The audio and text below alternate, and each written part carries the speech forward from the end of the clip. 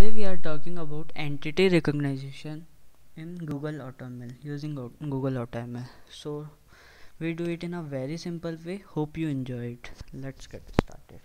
First of all, type console cloud.google.com. After that, you appear this web page. This is all summary about your projects all things. We go to our navigation window. First we go navigation window and search for natural language. So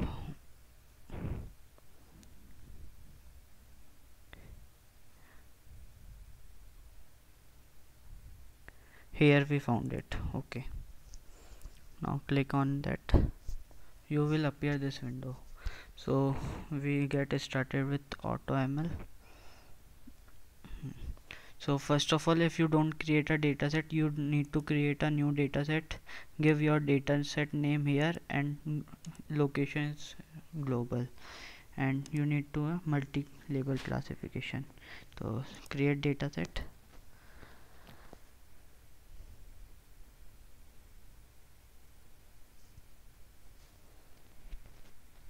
Hmm.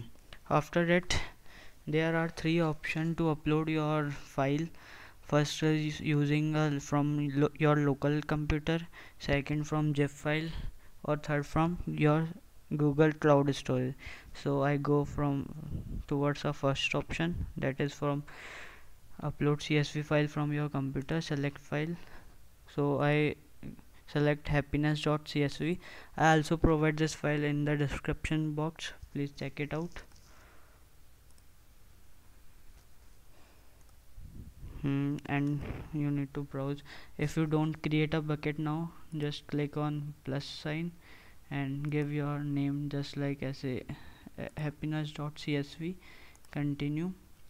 Multi-region there are options US Europe Asia Pacific. You can give any of the location.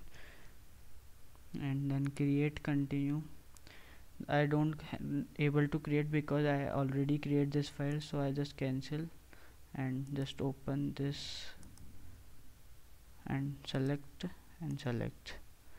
After that this this window is uh, and after importing you get importing maybe takes several minutes so you don't need to stuck in front of your local computer or desktop. You you are able you go out and chill. And after importing the dataset you will see that this kind of window where the summary of all your dataset that there are total 96,098 items. All are labeled except one. Unfortunately this one left. And it it also distribute your data file in three that is training validation testing. It do automatically. You don't need to do anything. And this is the achievement uh, 30 label means distribution of file into all uh, labels. Affection bonding enjoy the moment means all are the entities. After that you need to train your model. So just proceed the next step. I already trained this model so I don't click on start training but after you need to do and it takes around 2 to 3 hours depending on the system. So again you don't need to stuck in front of your laptop PC you you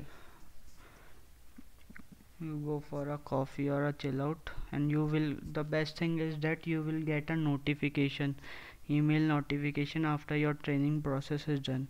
So I already done so see the full evaluation. So there are all labels yet tra already trained precision and recall. So the the more the flat square flat this figure the more the accuracy you achieve. This is most likely to be a square but the more the square flat the line the more the accuracy. And the precision and recall just see precision is just like true positive upon true positive plus false positive means the sum of that. Recall is that true positive upon the sum of true positive plus false negative. And accuracy you get by adding this upon total item after training and evaluation process is done you you are easily go to a test and use. So there are two options either you apply, up, upload your file through your browser or uh, just check by entering the test in the given box so I just type to check. I love my family. So we predict.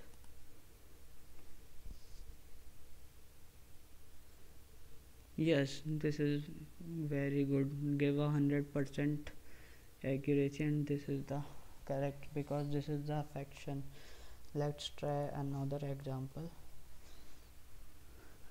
I like to be with my friend out in the nature. So just check it. Hmm, yes the bonding 100% with bonding. Because there is with my friend. This will but there is also an option the nature it does not show the nature 0 it's only show the bonding predict bonding label. So this is all about your entity recognition. You can check more example.